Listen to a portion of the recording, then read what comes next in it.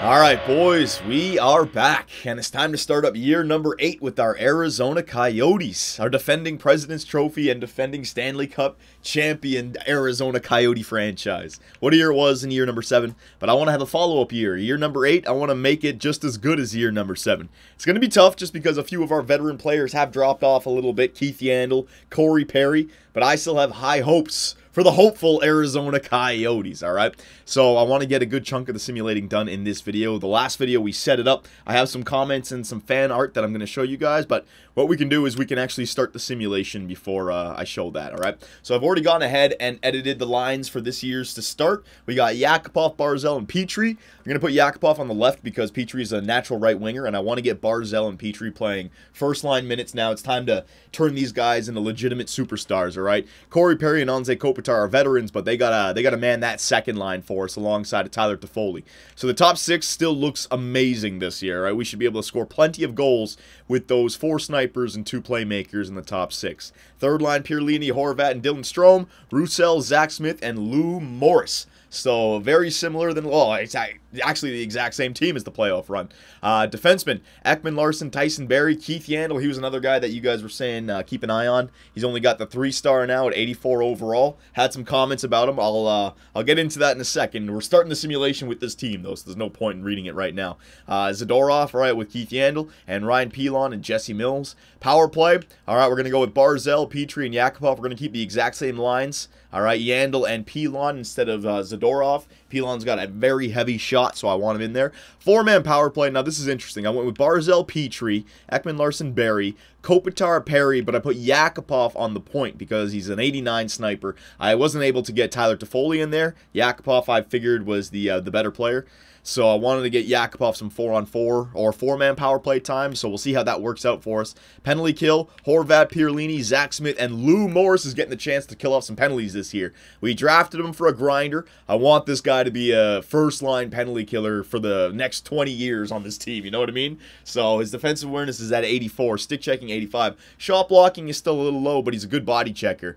Um, I wouldn't say he's the greatest penalty killer yet, but I want him to have ice time this year. He's only getting the fourth line minutes, so if I give him some penalty kill time as well, that's more minutes than he had last year. Uh, Three-man penalty kill looks like that. All right. Four-on-four lines. Again, Barzal, Petry. We're giving Barzal and Petry the main chance. Extra attacker, Barzal and Kopitar. And goaltenders, Hope and Langhammer. All right.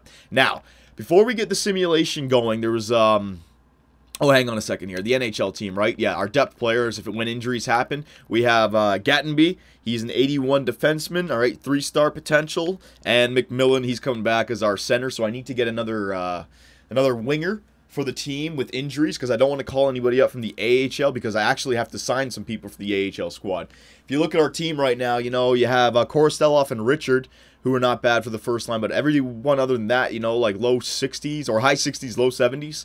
I want my AHL team to have a good year because we actually have a lot of defensemen playing in the AHL, and that's going to be the turnover. We're going to have a turnover of defensemen in the next few years. So a guy like Rupert, DeVries, Forbert, and not Forbert, sorry, Rupert, DeVries, and Gordon. I want these guys to have good years because you look at Rupert, right? Uh, right-handed, four and a half star potential defenseman. This guy, you know, potential top six, maybe a top four defenseman for us in the future. Doug DeVries, 22 years old, four star. I'm really hoping that this guy can turn out to be a top four defenseman for us. And same thing with Gordon, same thing as the first guy, Rupert. Defensive defenseman, four and a half red star. Hoping a top six, but maybe a top four out of these two guys, all right? So we have three defensemen that we want to have good years this year. So I was thinking about going out and getting a, uh, a legitimate goaltender and some AHL players and an injury player for the NHL squad, all right? So a few players I want to sign here first. Free agency. Let's just go here. Uh, unrestricted free agents. Whoa, what the hell? Darnell Nurses. He, you know, he's not getting any any better. He's capped off at 81 overall. Oh man, Edmonton doesn't want to pay him. He's not an unrestricted free agent though, so I can't get him. He's restricted. Uh, all right, so I need a left winger sniper. Oh, I already have enough snipers on the team. Give me like a guy with a decent uh, defensive awareness or defensive category, whatever you want to call it. There you go. Turnbull. Uh, he, he's a playmaker. You know, hang on forwards. There you go. Turnbull, Soderberg. Go back with Soderberg. Carlson. Yeah, you know what? Eric Carlson, playmaker. And it's another playmaker. Two-way forward. There we go. Yeah, I'll get a German here. Yeah, there you go. I'll grab, grab this guy for injuries just in case they happen on the team, which they will. Uh, years. Can I not give him a one-year deal? What the hell? Man, maybe it's like a rookie deal. Yeah, that's like a messed up player right there. All right, never mind. We'll go off. Joel Wiggle. Oh, there you go. That's even better. Two-way two-way forward. Defense is up there. Body checking is a little bit up there. He's got a shot blocking category. Yeah, we'll get this guy Wiggle. And he's uh, he's a winger. All right, so two-way deal. Yep. Uh, I'll just give you the max. Oh, no, no, that's enough. Yeah, two-way. All right, very good. Now, goaltenders. Let's find a goalie for the AHL. Clinton Claxon. Oh, God, look at this guy. Four and a half star potential. I don't really want to sign a guy like that, though, because... Nah, nah. Some guy, he probably drafted, yeah, Vancouver drafted him top 10, and that's just too easy of a goaltender to go after. So I'm not going to go after this guy. I'll go after this guy, Taran Kozun. I just want a guy to play goaltender for our squad. Years, oh, he's a, he's a rookie. Hang on. Let me see. Yeah, that's not bad. That's even better. Yeah, Ullmark is even better. The reflexes category is what I want. There you go. Yeah, that's good for me. So there's our goaltender. Defenseman. Is there any good defenseman that we could pick up? Uh, I already had a... No, you know what? I already had enough defensemen. Let's get some more forwards for the team. Let's get a sniper. This guy was a sniper, right? Yes, he was. All right, so I'll pick him up. Very nice. That'll help out. This guy was a playmaker. I'll pick him up as well. This could definitely help out our AHL squad, just with uh, some top six players. Uh, this guy's a sniper as well. I'll grab him. All right. Yeah, fine, whatever. I'll give you a rookie deal. Uh, and this guy's a power forward. I'll grab him as well. 85 for offensive awareness. There you go, whatever. All right, the reason I want to do that is just because I want to make my AHL squad just a tad better, as I said before. All right, so we'll go up here, get these guys signed, get them on the team, then we can start the Year 8 simulation. I want to go... I mean, I'm thinking that the team should be okay, right? I mean, the team that's out there right now basically won us a Stanley Cup, so there should be no no um, chance that we're going to miss the playoffs. I mean, hopefully I haven't jinxed myself with that kind of statement, right? But you guys, you've seen the roster. I mean, we got a, we got a stacked top six. We should be able to score plenty of goals with that. Um, all right, so let me get my team ready to go here. I'm just trying to think. Is there anything else I need to do? No, I think we're good. I did a few things before I started the recording, so yeah, I think we're good to start the simulation here. One, two, three, four, five, six, seven. All right, so we got the seven. And then the forwards here, Morris, you're going to have to bring up, who was it? It was Wiggle, right? Yeah, the two-way forward. Yeah, so we'll bring up Wiggle. All right, there you go. So we have all the injury players on our NHL squad now. Portland, we're going to go best lines again. All right, make sure everybody good is playing, all the potential players. So Little is not playing. He's our big-time uh, draft pick that we just had. When did we draft him again? It was fourth overall, right? So Travis Little's definitely got to get some ice time here. Uh, yeah, he's getting first-line ice time. Don't worry. Uh, Dahlman, Walker, uh, Selleck. I'll get the Selleck guy off here. There you go. Yeah, he's two-star. Uh, Little. There you go. So replace Stellick. Scratch you. All right, now let's get Little up on that first line with Kostitsyn. Yeah, yeah, I wanted to get these snipers to play alongside of these guys. There you go. Now we got a pretty good, uh, we get this guy in the center. Doesn't matter. All right, now we got some high 70, low 80 overall players on the offense. Defense, Rupert DeVries, Gordon. Looks all good still. Power play, I want to get Little in here. Hang on. Little, uh, Little. Where are you? There you go. Little's on there. Uh, get him on the second line power play. Yeah, yeah, yeah. He's still only 71 overall. I don't want to don't want to overplay him. All right, penalty kill. I'll keep him off the penalty kill. All right, and goaltender. Whoops, goaltender. Yeah, Ullmark. Is he in the net? Yes, he is. Good and strong. So we have an 81 overall goaltender now. Hopefully that will help out with the plus minus for our defensemen that we are looking to grow. All right. So let me just. Oh, fuck. I think I got everyone, right? I'm doubting myself now. This guy, Bulikov, when did I draft him? He's three and a half star, two-way forward. Second round, I got to play him. Yeah, I got to play him. Got to find a place for him. Uh, this guy, Karanin, Karanin. Uh, where is he? Karanin?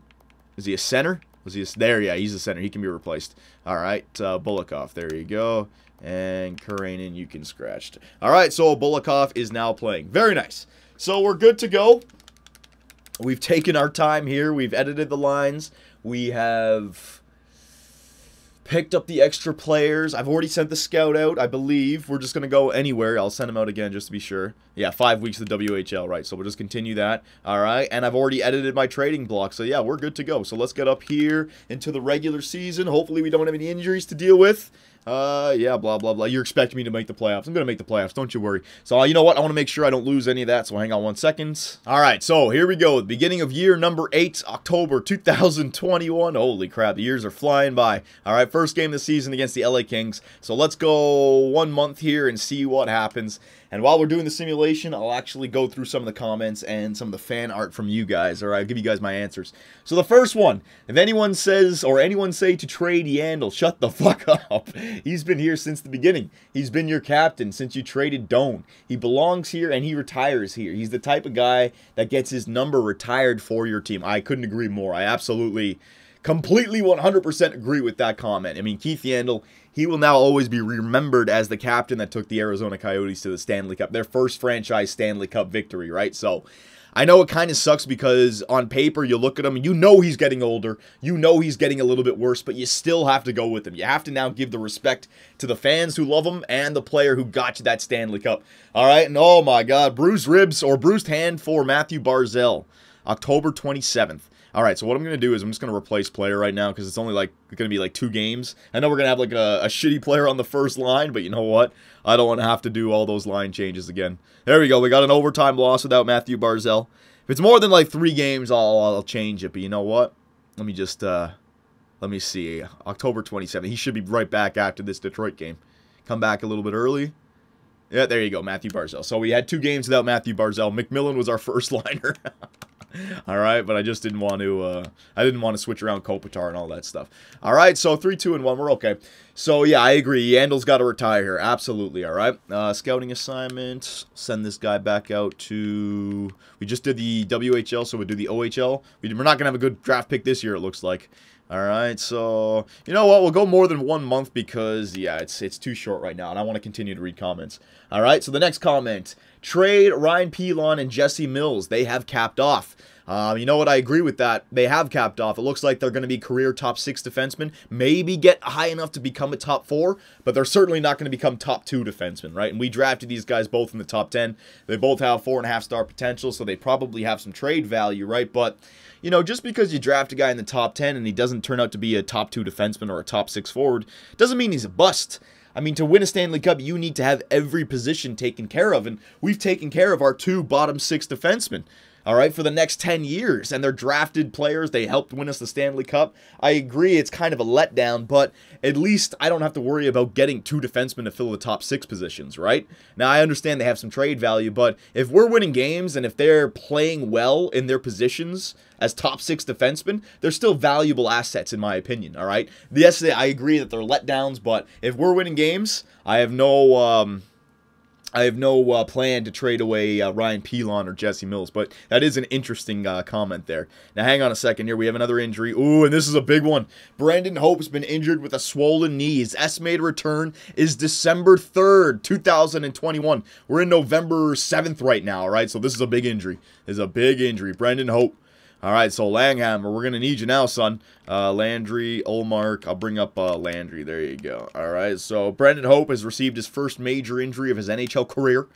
He's out for a month, but we got Langhammer, 83, all right? And our high-scoring offense should be able to help out that backup goaltender. 8 4 and 1, we're looking pretty good. Brandon Hope's going to be out for four weeks. Ooh, that hurts. All right, so the last comment. Johnny, who do you have to replace Yandle on that second line D?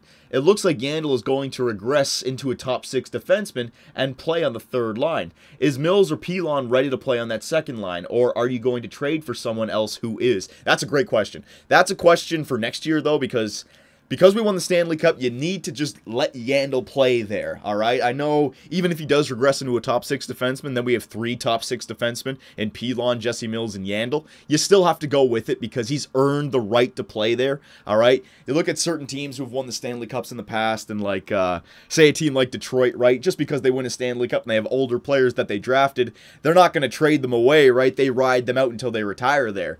I, I kind of feel the exact same way about uh, our defensive core. It's going to be weak for the next little bit, but I'm hoping guys like the three players that you saw in the AHL, hopefully they can come up and I'm hoping for at least one top four player out of those two guys because I think Ekman Larsson and Barrie are fine as our top two defensemen right now, and they're only both they're both only like 30 years old, so you got another two years with them for sure. All right, and in those two years, I'm looking for Rupert DeVries or Gordon, I think his name was, to become top four or top six defensemen. If I can get one of them to be a top four defenseman, then you have Zadorov and then that guy, and then you have Ryan Pilon, Jesse Mills, uh, and then the two other guys. You have four top six defensemen that you can then package in a deal. But that doesn't happen this year. That happens when we know what we have.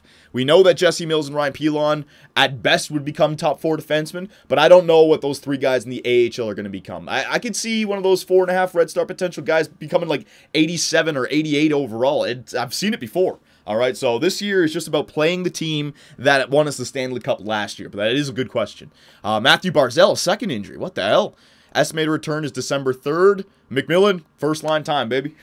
McMillan's going to get some more first line time. Uh, Brendan Hope's available to play in the next game. Good. So the injury bug has hit us, but uh, we're still winning some games. We have a deep team now. All right, Landry, there you go. Hope, switch him around. Very nice. McMillan will play for these two games. Edmonton and Calgary. All right, lost to Edmonton, lost to Calgary probably with McMillan on the first line. Yeah, no, but we won't. Never mind. All right, let's go another day.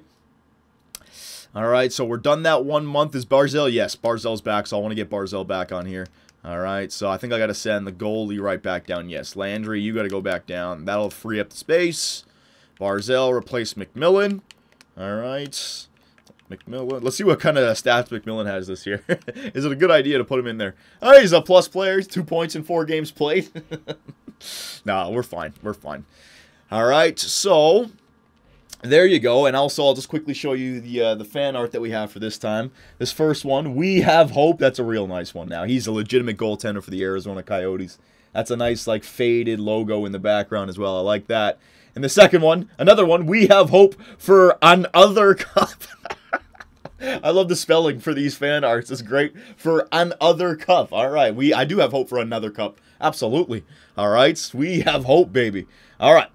So, we're done with the fan art. We're done with the comments. Now, we're one month in, 12, 8, and 5 for the Arizona Coyotes. A little bit uh, low, but again, I'm not looking to win the President's Trophy this year. All right, I do feel like our team is slightly worse than last year. Some players are better, but the key players like uh, Yandle and Corey Perry, even Kopitar might be getting a little bit worse. Fine, all right? Uh, we also had a month without uh, our goaltender there. Uh, what's his name? uh, Brendan Hope. So I, I don't care really about making the. It'd be nice to win the President's Trophy again. It's not the end of the world. I just want to have a Stanley Cup run again. All right. So goals four per game. We're above three per game, so we're scoring 3.83 for Tampa Bay. Holy crap! Drouin and uh, Stamkos are tearing it up. Probably they'll come back down to earth though for sure. Goals against per game. Uh, 21st in the NHL. We are allowing a lot of goals, but we figured that with our goaltender being injured and just the way our team is set up right now, uh, we're definitely an offensive team. Uh, power play percentage, third in the NHL, so our power play with Yakupov on the point doesn't seem to be hurting us, so that's good. Uh, penalty kill percentage, worse in the NHL. Holy crap! So we got to work on our penalty killing percentage. That could, yeah, yeah, yeah. All right, all right. I'll look at that. But maybe that's the only way that teams could score on us. Who knows? Shorthanded goals four, home record three, four, and three, away record nine, four, and two, and our last 10, three, four, and three. All right, so not looking the greatest, but again, it's early. We won the Stanley Cup, so now we got that Stanley Cup rust where we were like, ah, we don't have to try until January. We'll turn it on, we'll get ready, and then we'll win the Stanley Cup, just like the LA Kings. All right. So don't worry about it. No trades are happening, uh, even if the points are a little bit all over the place. Kopitar, 29 points, so Kopitar on the second line still getting it done. Corey Perry, 12 goals in 25 games played, so he's on pace for like a 40-goal season. All right, remember, these are second-line numbers right here. Nail Yakupov, 19. Tyler Toffoli, 18. Barzal's got only 10 points, but he has been injured, but 21 games played for only 10 points. Maybe that second line is taking all the points from him. Bo Horvat has the same amount of points as Matthew Barzal. Very interesting. Petrie's got uh, nine goals, though, and he's playing with Barzal, so I don't know what to make of that. All right, down here. Lou Morris, he's got five points already, so Lou Morris is having a good year. Um, Defenseman, all right, Keith Yandle, Captain Yandle, he's dropping off, but he's still leading our team in points, or defenseman in points, 20 points, all right. Barrie 20, Ekman Larsson 14, Pilon and Mills, 8 and 3. Are they plus that? They're even players, all right. Mills is a plus 4, that's good. And goaltenders, Hope and Langhammer, yeah, that was the uh, Langhammer playing 13 games already in the season for us at a 2.96 goals against, 2.5 and 2, save percentage of 89.67. Yeah, I mean, it's a clear difference when Langhammer's in the net compared to Brendan Hope, who's got a save percentage of 91.19 and uh, a record of 9 2 and 0. All right, it's 2.63. So, don't worry about the season so far. I think it's because of the injury, but everyone's back now. We're a completely healthy team, all right? And I want to know what do you think needs to change. In the next video, we're going to go all the way up to the trade deadline, so I think I'll ride it out. We'll take it there. But uh, I think we should just go with this team. We faced the adversity last year in the playoffs with these guys. They were able to fight through it. I think we should just go with the roster, maybe change the penalty here. You know what? I'll show you that quickly. You know, because that was the one stat that we could change, actually. The penalty kill stat. All right, so penalty kill. That's what I have for the penalty kill. What do you guys think about it? Now, I could put, I could put Ekman Larsson and Yandle on the penalty kill because they have better overall numbers. But I wanted to give these guys a little bit more ice time, but maybe they're not ready for the penalty kill just yet. I think Jesse Mills, Mills is ready for the penalty kill, but Ryan Pilon with that 81 defensive awareness, it might be better served to have uh, Yandle out there or Ekman Larsson, right? And also Perlini and Lou Moore and Zach Smith and Horvat, we could always throw Anze Kopitar in there, and that will drastically help the penalty kill, right? I could also uh, throw Kopitar out here, and also Ekman Larsson right there, all right? So let me know what you guys think about the roster, line changes, the future, and what we should be looking at for this year. Any trades, all right? I think we should run with the team, come to trade deadline, take a look, reassess, all right? But I don't think any major trade should happen unless they're draft pick trades, you know, or trading for a first round pick with non roster players, picking up free agents, picking up depth players. Go nuts in the comments, and the next video, year eight, will take it up to the deadline.